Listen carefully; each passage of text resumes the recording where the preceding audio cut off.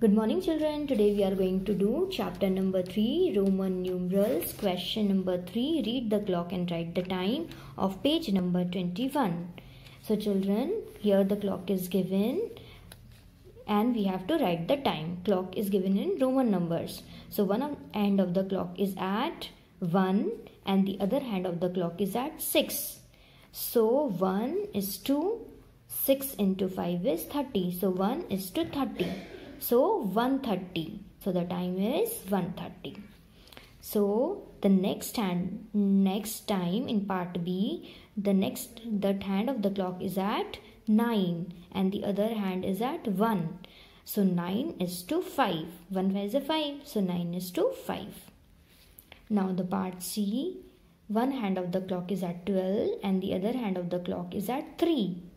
So 12 is to 3 5 is a 15. So 12 is to 15. Part D, one hand of the clock is at 10 and the other hand of the clock is at 7. So 7 5 is a 35. So 10 is to 35. Now note down 130, 9 is to 5, 12 15 and 10 35. Okay children, copy down in your class for copy in a very neat and clean handwriting. Write question number 3, read the clocks and write the time and draw in your classwork. कर लीजिए और आप अपनी classwork copy में draw कीजिए और time लिखिए हमारा नेक्स्ट टॉपिक है लार्ज रोमन न्यूमरल्स हमने प्रीवियस टॉपिक में किए थे रोमन न्यूमरल्स के rules addition multiplication subtraction and combination rule. In this topic, we will learn about the large number. L is 50, C is 100, D is 500 and M is 1000. By using these numerals, we can make large number. इन numerals के combination से हम large number बना सकते हैं अगर किसी large number अगर किसी numeral पे इस ये साइन आया जैसे टेन लिखा है और टेन के ऊपर ये वाला साइन बना है, इस साइन को कहते हैं बार।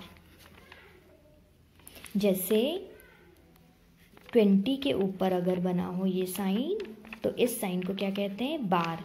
इस साइन का मतलब होता है, जो भी न्यूमरल पे ये साइन बना है, उससे हमें उस न्यूमरल को थाउज़ेंड से मल्टीप्लाई करना है। जैसे अगर टेन का बना है तो टेन इंटू थाउज़ेंड करेंगे।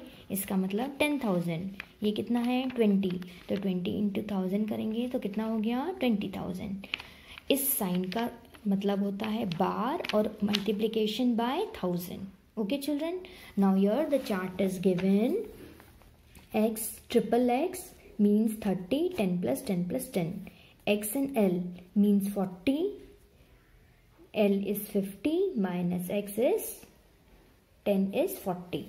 Now L means 40, LX means 50 plus 10 is 60. L double X means 70, 50 plus 10 plus 10.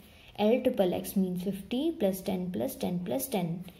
X C means C is 100, X is 10. So 100 minus 10 is 90. C is 10. CX means 100 plus X is 110. Similarly, C is 100, L is 50, so 150. C and C is 200. C and D is, D is 500 minus C is 100, so 400. D is 500.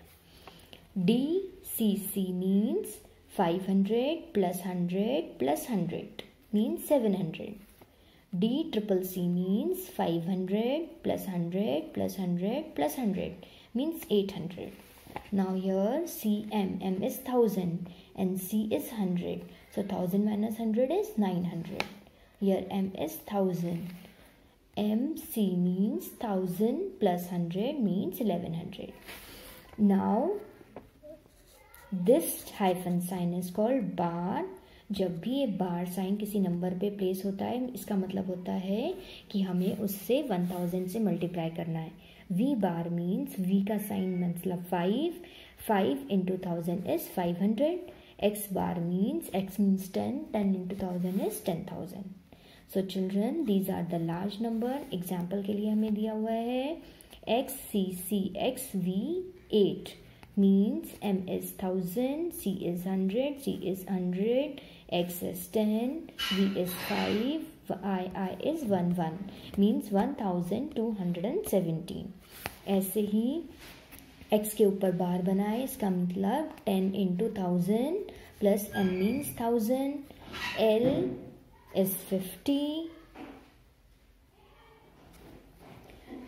and 9 so 1000 plus 900 plus 50 plus 9 means 1959 इसी तरह से Roman 2246 कैसे लिखेंगे? 2000 मतलब 1000 plus 1000 plus 200 को 100 plus 100 plus 40 को 50 minus 10 40 six कैसे लिखेंगे? 5 plus 1 6 means M M C C X L V I okay children तो इसी तरह से हम लार्ज नंबर लिखते हैं और लार्ज नंबर बनाते हैं कॉम्बिनेशन से। हम आपसे मिलेंगे अब नेक्स्ट वीडियो में। तब तक आप रोमन नंबर्स लर्न कीजिए और लार्ज नंबर के रूल्स लर्न कीजिए और लार्ज नंबर कैसे फॉर्म करते हैं ये लर्न कीजिए। Till then we will meet in the next video have a good day